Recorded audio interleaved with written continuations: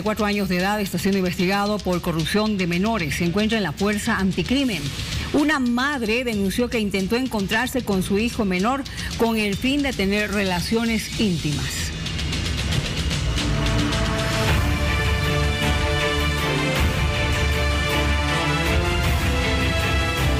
Han pasado más de 24 horas y acá en la Fuerza Anticrimen, en las celdas policiales, todavía se encuentra aprendido esta persona que fue denunciado por el delito de corrupción de menores.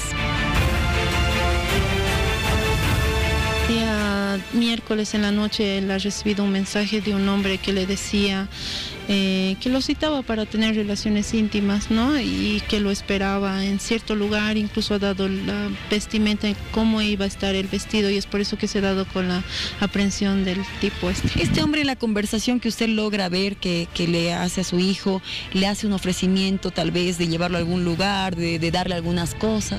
Sí, le dice que lo va a llevar a comer, que lo va a llevar a pasear y que le va a hacer pasar el mejor momento de su vida.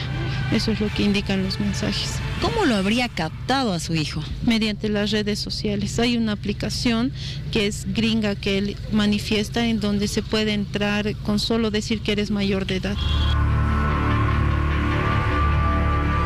El caso es de conocimiento de la Fuerza Especial de Lucha contra el Crimen.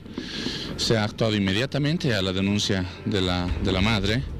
Ha salido personal nuestro de inteligencia y personal de la división para realizar los trabajos correspondientes y este caso eh, se ha puesto ya en conocimiento del Ministerio Público. Actualmente la persona se encuentra prendida y estamos esperando se lleve a cabo la audiencia.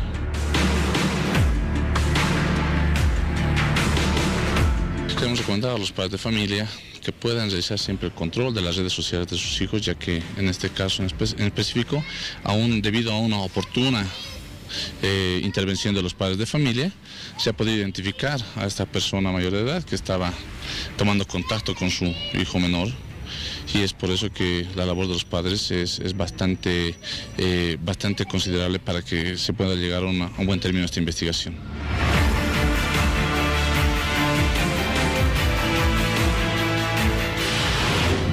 Vamos a conversar con la psicóloga y especialista en, sexualidad y también directora de Sinergia, Marinés Salazar. ¿Cómo estás, Marinés?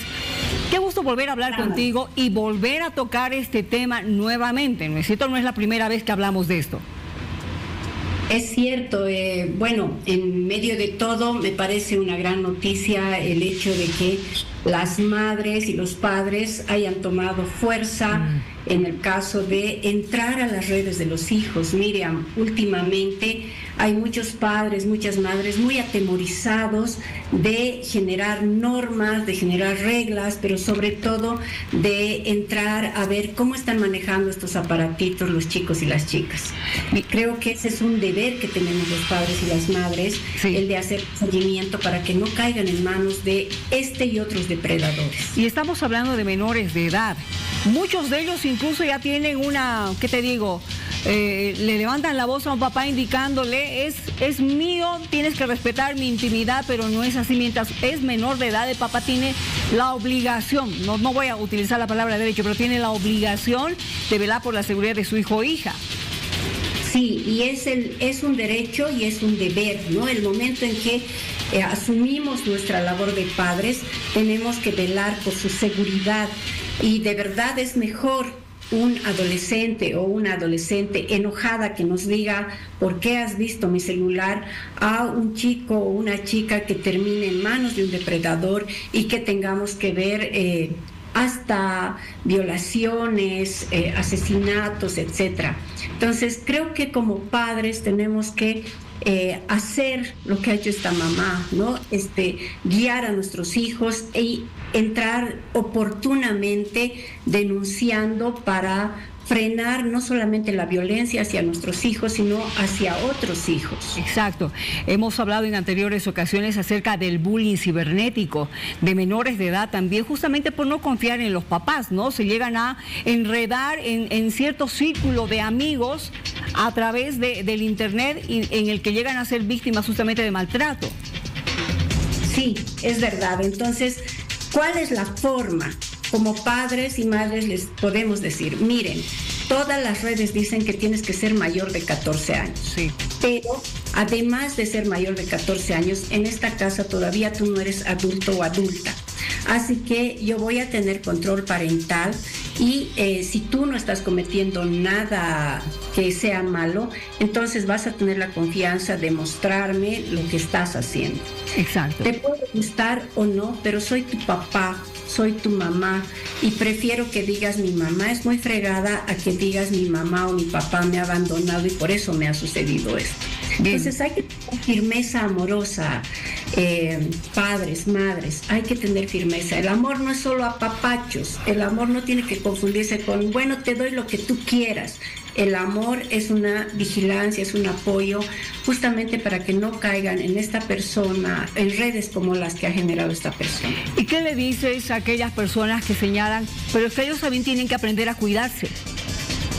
Sí, pero para eso estamos nosotros en el acompañamiento de que aprendan a cuidarse. Así como a los bebés no les dejamos caminar solos, o cuando ya están caminando no les dejamos tachuelas por ahí, o cuando ya están en el colegio no les estamos pidiendo que resuelvan operaciones eh, matemáticas de secundaria, igualito cuando ellos entran a la adolescencia, a la juventud, tenemos que seguir siendo papás y mamás para que aprendan a regular sus relaciones, aquello que consumen en los diferentes medios y también a prevenir. De eso se trata el acompañamiento, no es abandonarlos, el dejar que aprendan a caminar. Muy bien, has hablado de prevenir y de acompañamiento. Ahora, ¿qué les decimos a esos jovencitas, a esas jovencitas y jovencitos que utilizan las redes sociales para sacarse fotografías? Pero también a veces se sacan fotografías ya muy demostrativas, ¿no es cierto? Y quizás en las redes sociales, donde es un círculo cerrado de amistades, hasta puedan estar llegando a exponer su propia intimidad. Bueno, el autocuidado también es muy importante. Chicas, chicos, no solamente no envíen fotos que les arriesguen a que un depredador eh, quiera captarles, sino no cuenten cosas personales. Muchas veces los depredadores sexuales especialmente buscan a personas que se quejan de soledad, que manifiestan que no tienen por ahí el cuidado de los padres o de las madres. Em, ellos están en busca de estas personas. Entonces, recuerden, las redes sociales tienen que mantener el interés que nosotros tenemos. Tal vez comunicarnos con algunas personas, tal vez visibilizar algunas cosas, pero nunca nuestra intimidad. Muy bien, gracias Marinés, como siempre saludable y es reconfortante poder hablar contigo. Espero que muchos padres, madres y también muchachos y muchachas hayan escuchado estos consejos. Prevenir antes que lamentar. Papás, tú has hablado de firmeza amorosa para poder seguir de cerca los pasos que están dando nuestros hijos para que no lleguen a equivocarse y no sean además maltratados. Y posiblemente, y eso la policía lo está investigando, quizás estamos ante un depredador sexual como tú acabas de nombrar. Gracias Marines, hasta una próxima. Un gusto, un abrazo, chicos, chicas, denuncien si están viviendo cosas similares.